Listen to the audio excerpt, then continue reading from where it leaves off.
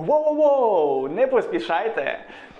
Ще б трішки забув подарувати вам подарунок. Обов'язково в коментарях переходьте на сайт, в якому я розповідаю три великих стратегії для того, щоб змінити ваше тіло самостійно. В першому буде пункті чек-лист, в другому пункті це буде доступ до закритого вебінару, який пояснить чек-лист максимально детально. І третій це буде 15-й відеоурок закритого курсу, який розказує всю загальну інформацію про цей курс, як зробити своє тіло мрії самостійно. Підписуйтесь, заходьте, отримуйте доступ. Зараз це безкоштовно.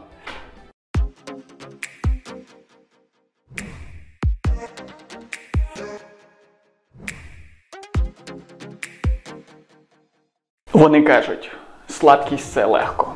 Слабкість це для тих людей, які готові здатися в будь-який момент. Слабкість це вигідно, слабкість це легко, слабкість це безпрограшно. Насправді проявити слабкість у деяких моментах це дорого коштує. Проявити слабкість у тих моментах, коли на тебе давлять, коли на тебе тиснуть, і ти не був неправий. І проявити слабкість, сказати так, я був неправий, я помилився. Та, судіть мене, я помилився. Знаєте, я знаю, що я помилився. Я буду дивитися на цей приклад, на цю помилку. І в подальшому запалюватися від неї. Тому що я знаю, що я не буду повторювати її. Мені соромно. І цей сором він буде вибудовувати в нас повагу до себе. А повага до себе не дозволить не отримати бажане тіло, не дозволить не отримати бажані мрії. Ми будемо рухатись з вами пліч-опліч до кожної цілі, яку ви хочете досягнути. За умови, якщо ви будете зі мною. Але якщо ви будете самостійно рухатися, знаєте, що відбувається, коли ви рухаєтесь самостійно, коли ви хочете тіло мрії, і ви починаєте рухатись самостійно, ви маєте проявляти слабкість у багатьох речах. Слабкість до свого его, тому що коли ви будете дивитися на те, що ви все знаєте, ви можете розчаруватися. Тому що люди, якщо вони якоюсь професією займаються, кожного дня знаходиться багато нової інформації. А якщо дуже добре пошукати, цієї інформації ще більше. Слово багато не поміститься цієї кількість інформації. Якщо ви хочете зробити цей крок, ви хочете зробити крок один, крок два, крок три, і не маючи ніякої підтримки, ментальної підтримки, а крок має бути фізичним, цей крок може бути переломним.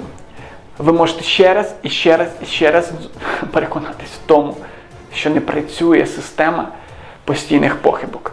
В нашому тілі є багато енергетичних відновлених потенціалів, але нервовий потенціал, який буде наш мозок видавати, коли ми робимо постійно помилку, цей потенціал не буде енергетично підпитувати нас. Він не буде давати нам енергії діяти далі, тому що він буде блокувати нашу внутрішню, нашу внутрішню складову, впевненість, довіра до себе, любов до себе, довіра до своїх планів, нових ідей. Вона буде згасати, тому що цей потенціал нервового імпульсу нашого не буде вже такий сильний, як раніше. Згадайте, коли ви вперше відчули ідею, ви нею запалилися, ви сказали, так, ця ідея її реалізує. Чи ви були підлітком, чи, можливо, вже були дорослі. І ви відчуваєте, що ця ідея запалює вас до самого-самого серця. І ви бачите, що ця ідея просувається в вашому тілі. І ви хочете її реалізовувати. Ви навіть могли проснутися на наступний день і знову бути нею запалені. І так могло тривати тиждень-два. Але якщо, не дай Бог, ця ідея не спрацювала, ви вилетіли.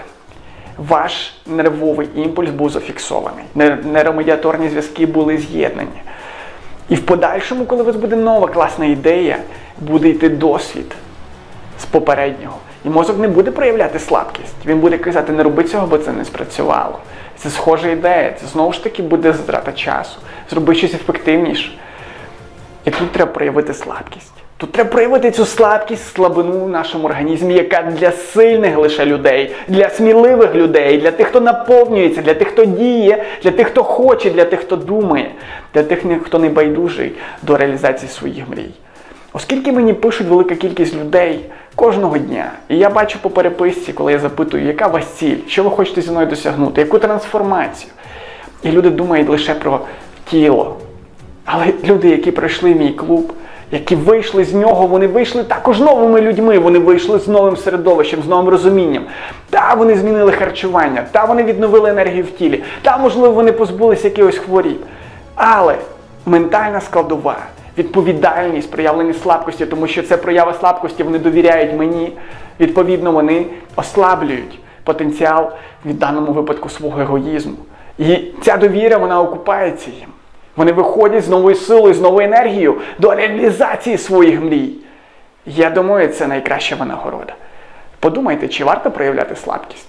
Я думаю, що варто проявляти слабкість.